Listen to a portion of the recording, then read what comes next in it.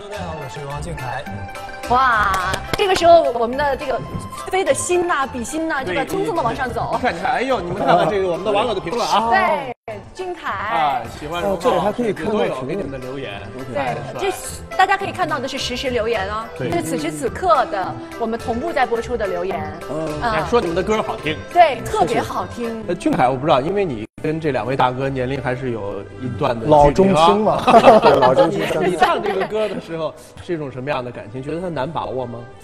嗯，可能对于我来讲，可能没有经历过像于老师说的那种父母的情节，嗯，但是对于我来讲的话，我能感受得到这首这里面的歌一些，就是一些歌词给我可能这一代人的一个感受，就真的是，呃，爸爸妈妈给我的不少不多，嗯。但是就是，可能在小时候的时候，可能并没有像就是别人家的孩子，比如说别人家的孩子有什么就是要什么，可能对于我我来讲的话，其实也就是父母可能给到我的关爱特别多，但是对于我来讲。已经够了，就是足够我就是在那个年纪得到的所有的东西了。所以对我来讲，把握这首歌可能是一个新的一个角度，但其实也能够感受到荣浩哥对于这首歌的感情，因为这首歌本身它就是一个很感很有感情的旋律，加上它的歌词铺垫，已经足够让大家感受得到了。所以你看，荣浩，你这首歌真的，这叫贯穿，是吧？打脱打穿了几代人的这种情感的这种触点、其实触发点。这是我平时观察到了我们这代人，包括我上一代人，包括我下一代人，对父母的那种。其实我觉得可能跟我们的传统有关系，我们都是比较腼腆，嗯，就是孩子也比较腼腆，就是父母也都比较腼腆，就是表达都很含蓄。对对，就不会轻易跟你说我爱你，或者一个拥抱，或者这样就很奇怪。既然是含蓄的表达，我们就不如通过这首歌吧。你们在这个一年又一年的演播时，荣浩，你们三位能不能给我们再现一下？选择一小段啊一小，你段们觉唱副得歌吧。就唱副歌好吗好，你们你们现在在耳麦里都能 能听到伴奏吧？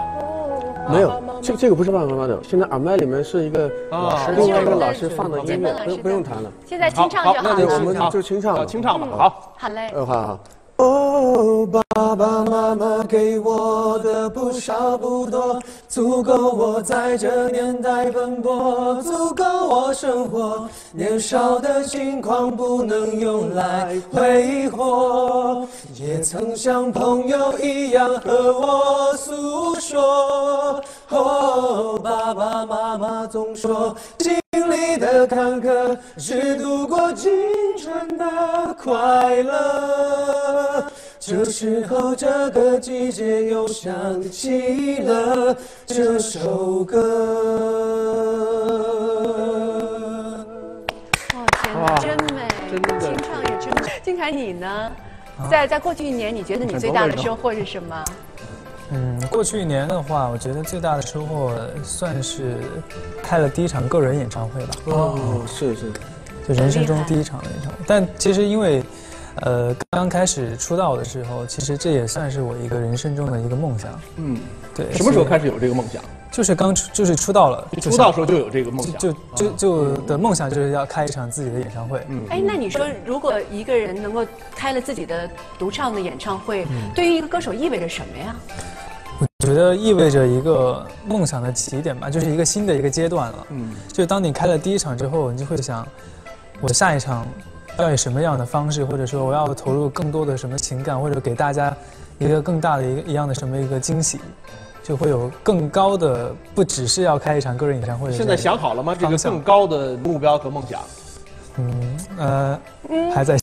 我觉得他已经没想有了，但是可能不好意思说。嗯但你其实他找到了新的一个起点，嗯呃，站在新的起点上，可能才能够跑起来啊。是是是是。嗯，但实际上，我觉得俊凯特别动人的地方，就是他勇于开拓自己。嗯，我其实，在很多很多节目当中会发现，呃，你一直在试图打破自己，你你有这种意图吗？主动意图，就去尝试不同的曲风，去尝试不同的创作，包括乐器。其实会有，会会想吧，因为，嗯，我觉得如果老是在做自己熟悉的事情，会我会做多了，会做久了，我会觉得有点无聊，嗯，或或者说有点腻，所以说老老会去做一些，嗯，想着会去尝试一些不同的东西，看一下适不适合，或者尝试之后看看看有没有兴趣，然后继续深入的去学习这样。但是这个对艺人来说是有风险的，是吧？你很熟悉的领域，大家喜欢你，可能是因为这个。嗯，你去尝试一个新鲜的领域，万一原来的粉丝不是很喜欢，那怎么哎，办？所以就两边都捞着。其实我对最想问俊凯的就是，大家很多人都是看着你长大，因为从你十三四岁就开始看着你一一步步走到这个呃演艺的事业上面。那成长对于你来说，你你害怕吗？你害怕长大吗？呃，其实我最开始的时候还是就是很期待长大，因为其实每个小孩子都希望长大后是都都很期待自己长大后是什么样子嘛。但其实我觉得成长对于我来讲的话，可能对于我自己的定义跟大家定义不太一样，可能大家因为是从小。就是我们从小到大都是他们看在眼里的，所以他们对我们的理解可能是一种，就是很温暖的，嗯就是对我们很照顾那样的情绪。可能对于我自己来讲的话，我是更想去往一个独立的一个方向去考量自己，就真的是长大了，就是要做一些属于自己应该做的，或者说一些自己做了就要担当起这些事情的一个责任吧。嗯其实他是渴望长大的，就渴望他的翅膀能够坚硬起来的。祝福你特别好，谢谢谢谢。谢谢，祝福你们三位。用你们的方式给大家打打气，好好吗？好好好，嗯那嗯，可能对于我这一代人来说呢，可能这算是一个我们就是刚刚经历的一个非常大的一个嗯一个事件吧。可能零三年那会儿我们太小了，所以我们并没有意识到这件事情给我们带来的严重性。那其实，在经历过这样的事情，我们正在努力，我也希望，嗯，能看着我们的所有的电视机前的所有人，我们都能够齐心协力去对抗这样一个困难。也非常感谢所有的医护人员对于我们这次事件的一个帮助，也非常辛苦。在这里也是希望他们在帮忙的同时，也能够照顾好自己，然后身体健康，然后我们一起把这个病毒战胜之后，再开始我们新的生活。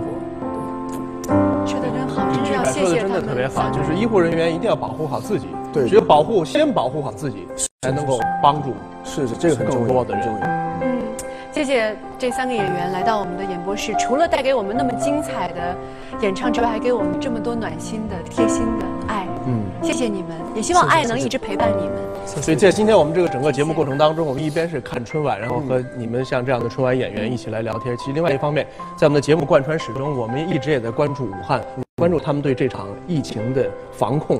我们也在实时更新呃相关的数据。接下来我们一起来看看这方面的消息，好不好？好吗？我们来。